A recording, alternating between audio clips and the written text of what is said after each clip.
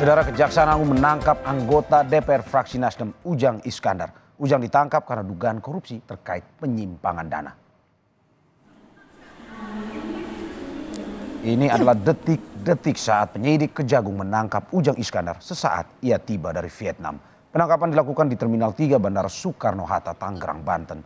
Kejagung menyebut Ujang Iskandar diduga terlibat penyimpangan dana penyertaan modal dari Pemda Kota Waringin Barat kepada Perusda Perkebunan Agrotma Mandiri.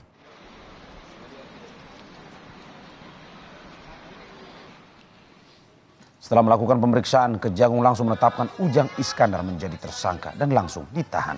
Penyidik Kejagung memastikan telah menemukan minimal dua alat bukti untuk menjerat Ujang Iskandar sebagai tersangka tindak pidana korupsi.